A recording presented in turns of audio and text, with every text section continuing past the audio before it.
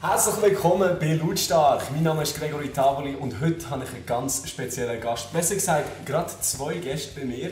Der Crown und der Patrick. Herzlich willkommen. Servus, Hi.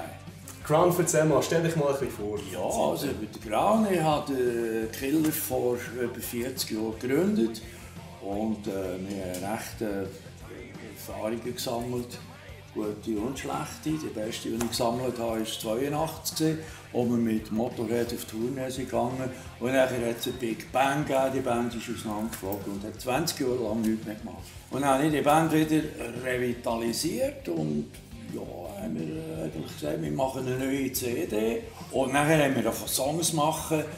Und es haben leider Gottes nicht alle Mitglieder von der Band äh, gleich viel Enthusiasmus gezeigt für das äh, Projekt. Darum äh, musste ich nachher müssen schauen, dass wir einen neuen Sänger bekommen, dass irgendwie es äh, vorwärts gegangen ist. Und dann hat mir der Gitarrist Peter Berger einen Link geschickt Voice of Germany, soll das mal anschauen, äh, und hat geschrieben, äh, so einen Sänger sollten wir haben. Und dann bin ich das anschauen und dann, paff, Kiefer nur noch auf die Tastatur runtergefallen. Und dann habe ich den Berger angerufen und habe gesagt, nein, nein, nicht so einen Sänger. Den Sänger müssen wir haben. Und äh, voilà, da ist er.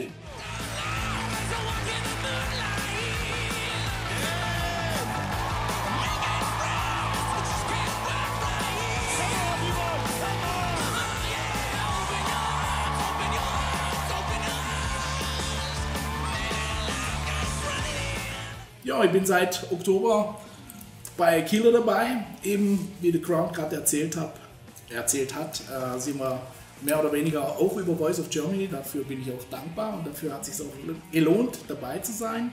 Ja, bin ich bei Killer dabei und ja, bin gespannt, was kommt und freue mich auf das, was kommt, weil es sind einfach hure geile Sachen auf Schweizerdeutsch. ja. und that's Rock'n'Roll. Wie, wie ist denn die äh, Chemie im Team so? Wie macht sich der Patrick dann im Killer? Ja, Das ist ein Arschloch. Nein, sorry, aber das ist jetzt genau das, was wir gesucht haben. Weil, sorry, aber die meisten Sänger sind irgendwelche Diven, die irgendwie ein Hauswähle haben oder sonst ein Bobo und jetzt nicht können singen wegen diesem, wegen jenem. Und, und der Paddy hat sich sofort aus das herausgestellt, was ich eigentlich suche. Es ist der Typ Kumpel. Wie siehst denn du denn die Zusammenarbeit mit äh, Killer? Das ist einfach, einfach fantastisch. Also die Leute sind super, das Drama, das- alles wunderbar. Die, ich sage ja, ich nehme zwei Stunden äh, Fahrzeit in Kauf, um äh, in Basel noch letztendlich mit ihnen zu proben. Und da wirst du jedes Mal belohnt. Ne? Du kommst an, die sind einfach gut drauf, da ist nichts nervig, da ist keine Hektik im Raum. Es geht einfach prinzipiell ums Musikmachen. Das ist ja auch das Schöne bei der Killerband, wo ich jetzt dabei bin dass man sich auch selber einbringen kann. Ne? Also mittlerweile auch ein paar Texte geschrieben, die sogar angenommen wurden. Das hat mich sogar echt gewundert, ne? weil Songwriting ist so eine Sache und es muss einfach passen. Und das schaffen wir schön dran miteinander und es wird wirklich wunderbar. Und wie gesagt, ich glaube, die Zeit ist reif wieder für Rock'n'Roll. Im Radio wird so viel Mist gespielt und, und kreuz und quer Ja. und die Leute, man merkt es einfach, die Leute wollen wieder ein bisschen lange Haare, Cowboystiefel raus, Party mache, Rock'n'Roll halt, oder? Und ich denke, die Zeit ist reif. Ja, Musik passt auch wie Faust aufs Auge. Also es ist Rock'n'Roll, das ist genau das, was ich machen will. Und witzig war ja einfach, dass wir bis jetzt maximal gerade dreimal geprobt haben, zusammen in einem Raum. Ansonsten ist alles, ich denke, über Multimediale. Es hat gepasst. Es hat gepasst. Sie haben mich einmal besucht. Also es ging dann über WhatsApp hin und her.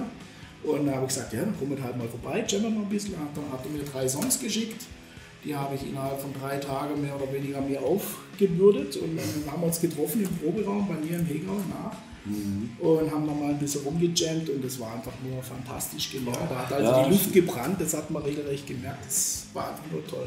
Wie ist denn eine CD bis jetzt, äh, die Produktion von der CD bis jetzt gelaufen?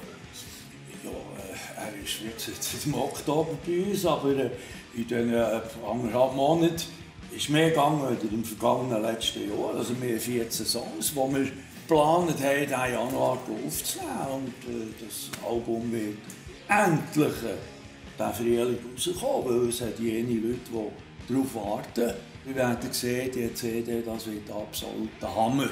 Und auch wenn der Paddy am Anfang nicht so überzeugt ist, war, aber mein Pump-Action im Rücken hat nachher doch gemacht, dass er gekommen ist. Sehr süß. Was geht es denn in diesen Songs? Thematik?